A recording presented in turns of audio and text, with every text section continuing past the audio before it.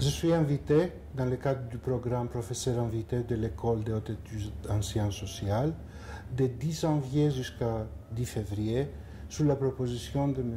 Paolo Dorico. Mes thèmes de recherche sont l'histoire et la littérature byzantine et une euh, approche anthropologique et sociologique de la société byzantine. Ma dernière publication est un livre en coédition sur euh, la narratologie Byzance. Les sujets de mes interventions portent sur les rapports entre droit canonique et droit séculier à Byzance. Ça veut dire le rapport instauré entre la légalité de l'État et de l'égalité de l'Église. On va examiner une série de textes capitaux pour bien comprendre ces rapports conflictuels. Lorsque je suis venu en France il y a 15 ans, Paris était euh, au centre de la recherche historique mondiale. Et l'école était à l'avant-garde de cette recherche pour euh, une nouvelle histoire. J'aimais beaucoup la manière française d'approcher l'histoire médiévale et ancienne.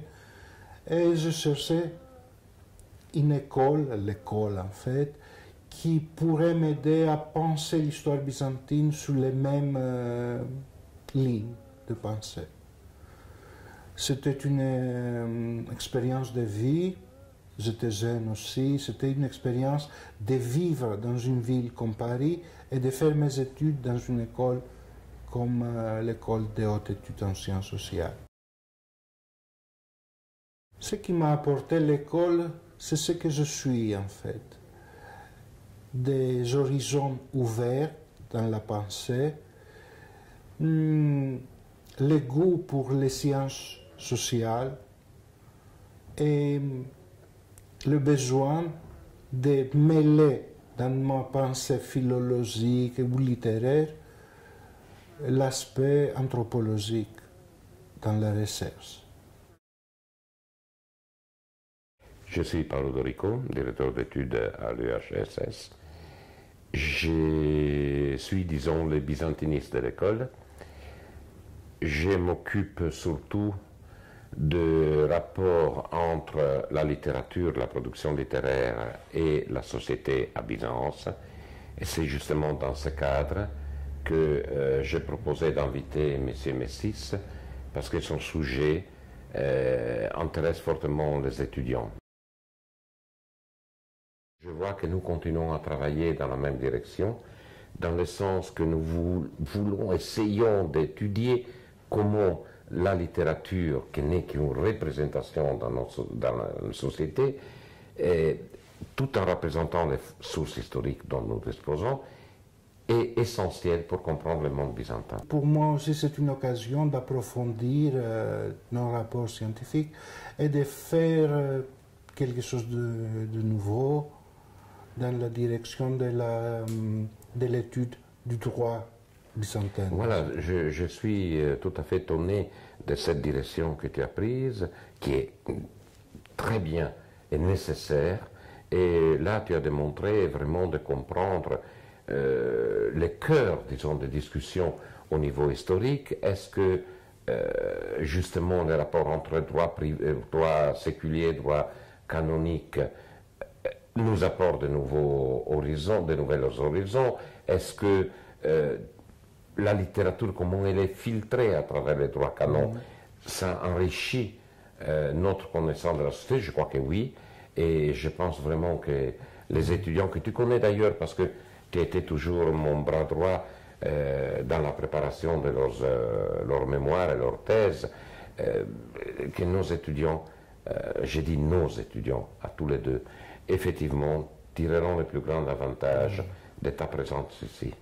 Et moi, je vais traiter la question de la légalité à Byzance comme, pas comme juriste, parce que je ne suis pas un juriste, mais comme un littéraire, en voyant l'aspect littéraire des lois et aussi leur impact social et euh, anthropologique. Et aussi anthropologique, parce que n'oublions pas que tu as dédié une grande partie de tes activités à l'étude du genre.